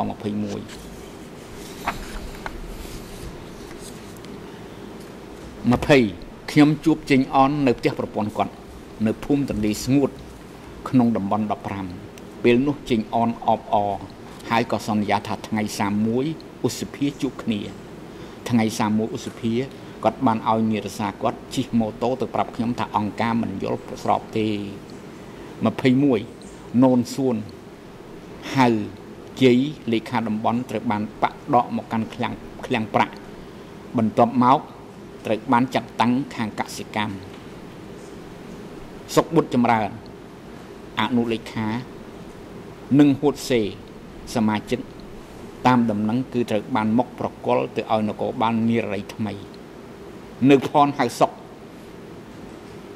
ត្រូវបានសុនសេនប្រកល់ឲ្យណាត22ឧទាហរណ៍គណៈកម្មាធិការបកក្រសួងធម្មពលដំបងចាត់តាំងនប់មឿនហៅកៅរិទ្ធជាលេខាបន្ទាប់មកដកកៅរិទ្ធទៅធ្វើលេខាពាណិជ្ជកម្មដាក់ឆាយកំហោហៅហុកជាលេខាធម្មពល ណាតអតីតលេខាស21ត្រូវបានហាមមិនឲ្យក្តាប់កម្លាំងទំព័រទី4 23វេជ្ជបណ្ឌិតរតគុត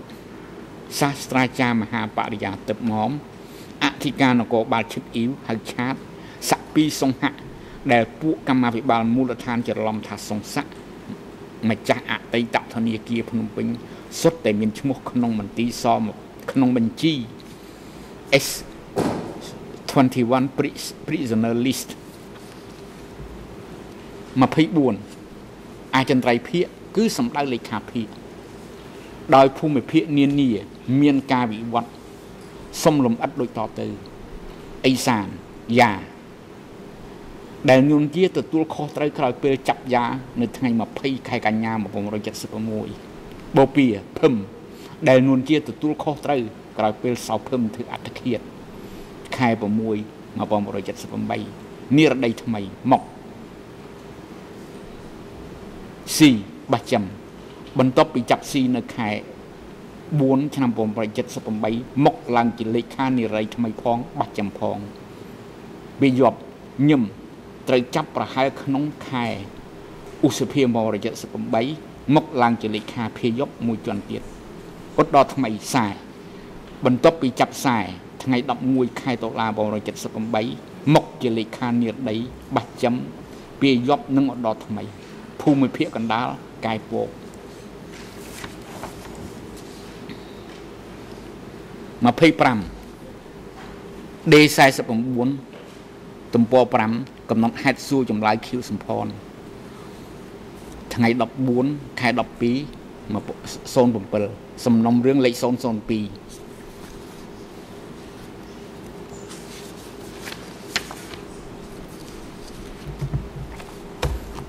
ប្រធានមន្ទីរភាគដែលជាប្អូនថ្លៃរបស់ស៊ីឈ្មោះសួនឈ្មោះពេញលេងខ្ញុំមិនស្គាល់ទេ ប្រធានមន្ទីរនគរបាលភូមិភាគបាច់ចំឈ្មោះមុំរឿនហៅវីមនុស្សក្នុងស្រុកភូមិជាមួយប្រពន្ធខ្ញុំបំណងរបស់ស៊ីក្នុងការរើសរុះកម្លាំងរបស់ប៉ាល់លិចភេទឲ្យគេសម្គាល់បានច្រើនណាស់ជាពិសេសក្នុងសន្និបាតភាគដែលប៉ុលពតចុះទៅធ្វើអធិបតីស៊ីបាននិយាយនៅក្នុងសេចក្តីរាយការណ៍សរុប ការងារថាកុំឲ្យឃើញតែកូនក្មួយខ្លួនឯងសេចក្តីរាយការណ៍នេះចុះក្នុងទងសនាក្នុងទស្សនវដ្តីទងបដិវត្ត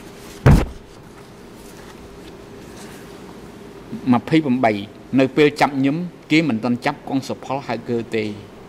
គឺចាប់ជាមួយវ៉ុនវេតនៅមន្ទីរ807ថ្ងៃ2ខែវិច្ឆិកា1978ម្យ៉ាងទៀតតាមដំណឹងដែលខ្ញុំទៅបានឮ ខ្ញុំឮថាសមាជិកគណៈកម្មាធិការភូមិភាគពីយប់បានចាប់អាវុធតស៊ូការពារកម្លាំងខ្លួនបានរហូតដល់ពេលកងទ័ពវៀតណាមចូលទៅដល់ក៏ចាប់ដៃគ្នាតស៊ូប្រឆាំងប៉ុលពតតទៅទៀតខ្ញុំគ្រាន់តែកត់ចំណាំព័ត៌មាននេះទុក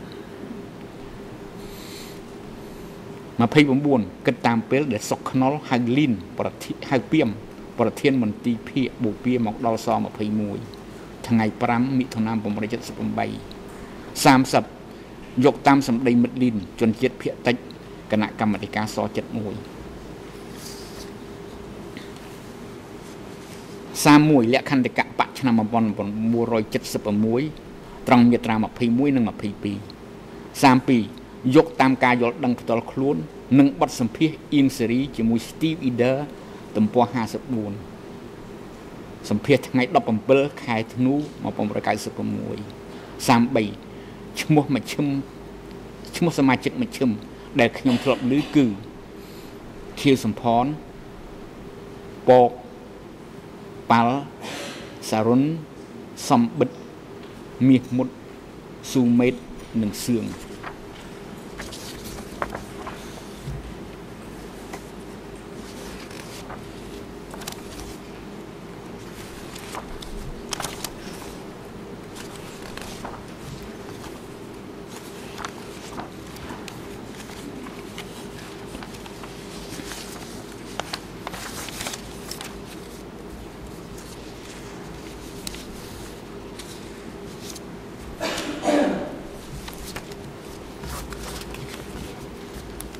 លោកប្រធានជាទីគោរព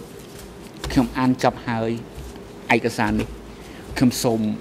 លើកសំណុំពរមួយ គឺគោរពជូនឯកសារនេះជូនលោកប្រធាន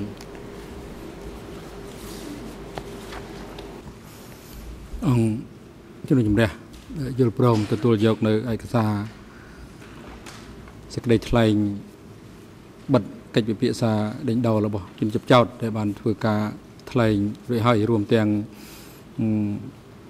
ឯកសារភ្ជាប់ជាមួយតាមការស្នើសុំនេះលោកផារីយកឯកសារពីជនជាប់ចោតដើម្បីរៀបចំដាក់បញ្ចូលទៅក្នុងសំណុំរឿង